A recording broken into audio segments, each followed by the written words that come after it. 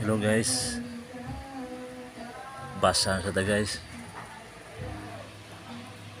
Basa ta sa karong adlaw ah, Lunes. Pizza dos sa Enero. Magpakaon sa ta sa atong tagsa-tagsa ka mga kala guys. ang tagsa-tagsa to ka mga kalag kinahanglan man o mga pulong sa Ginoo. Kini may nindot kayo nga mga makita ninyo sa mga content ng mga yung ano eh. Pulong yun sa Ginoo guys. Doon lagi mo yung mga katunan ni ini. Kay mutabang na muna ako basa. Di naman ako rin mo basa ni. Pati man ka mo. Basa sa mo. Palupig ka mo. Di mo palupig na ako eh. May mong basa. Guys huwag na to guys. Dire, unaw na to ang pagbasa.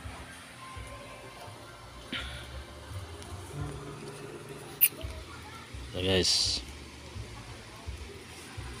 Hmm? Mhm. Eh.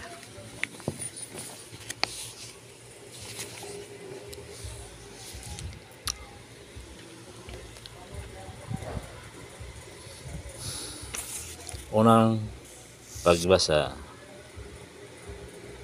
gikan sa sulat ani oh, pagbasa gikan sa unang sulat ni San Juan. Nan kinsa man ang bakakon nga bakakon mao kadtong nag-ingon nga si Hesus dili mao ang Kristo.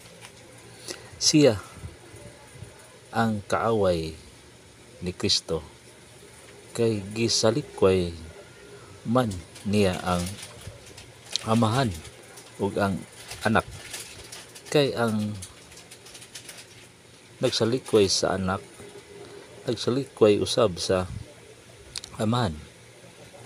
Ug ang midawat sa anak midawat usab sa amahan.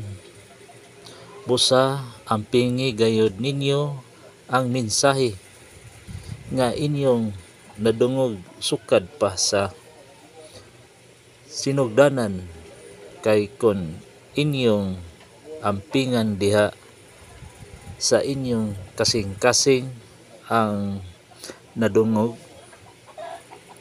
Ninyo magpabilin kamo kanunay diha sa anak og sa amahan ang gisaad ni Kristo kanato mao ang kinabuhi walay katapusan.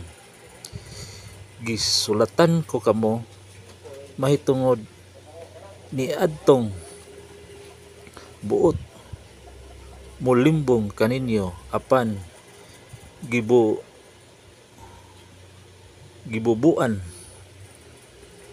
nakamo ni Kristo sa iyang espiritu o samtang ang iyang espiritu ana kaninyo?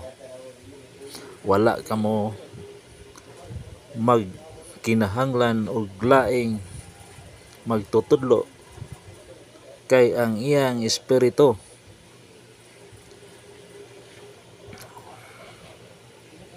Magtudlo kaninyo sa tanan butang o matuod ang iyang itudlo kaninyo bosa.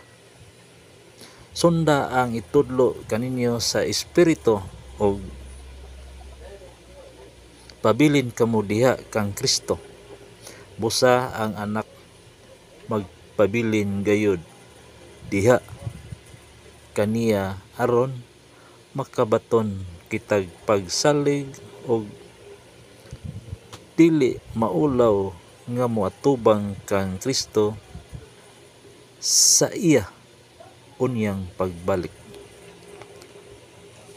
Ang pulong sa Ginoo. Salamat sa Dios muna guys sa unang pabasa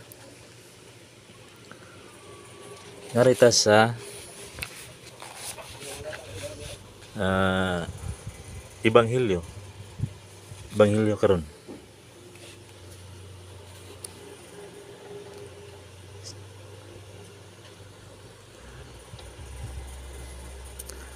pagbasa gikan sa Santos nga Ebanghelyo sumala ni Juan.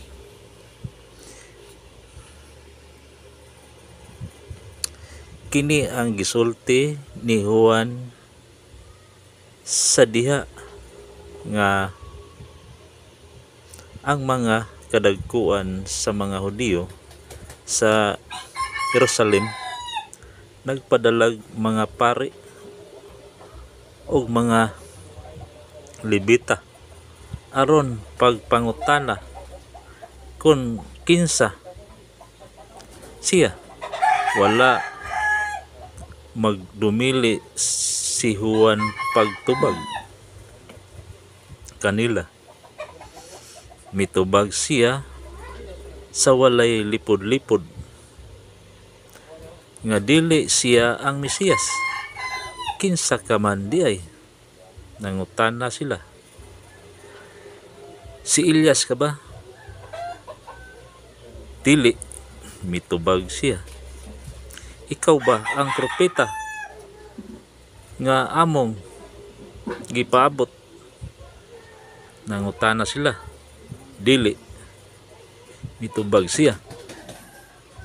Ug sila mingon man an mingon nan sultihi kami kung kinsa ka. Aron may ikatubag kami sa mga nagsugo kanamo unsa may ikasulti mo may tungod sa imong kaugalingon si Juan mitubag? Ako mao ang tingog nga nagsinggit sa kamingawan. Hawani ang dalan nga agianan sa Ginoo.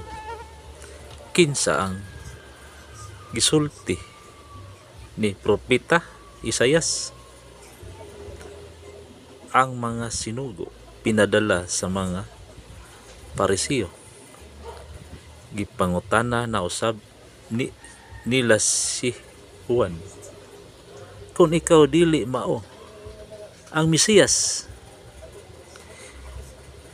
ni si ni ang propeta nganong namunyag ka man? Si Juan mitubag ako nagbunyag pinagi sa tubig. Apan may usa diha. Kaninyo.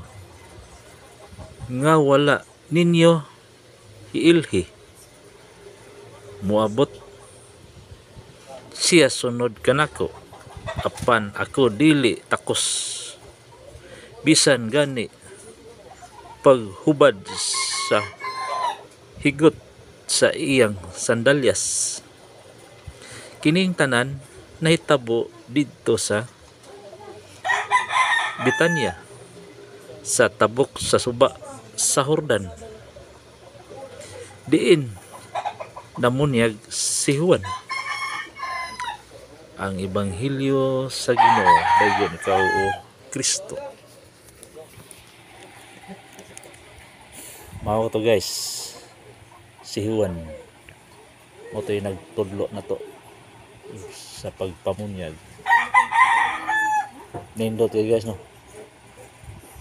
Ah, magabati tag mga pulong sa Ginoo. Labi na ikaw ang mubasa. Labi na nagtanaw ni ni mubasa sad. Anin dot kayo doon nagigay makatunan ni. Og diri lang ko kutob guys ha? Sa sunod nasad nga adlaw magbuhat na sad kog ingon ni ini. Nya ato nang buhatan sunod og mga mga hubad-hubad ginagmay ba? Itong baron aron munindot. Og dinhira kutob. Bye bye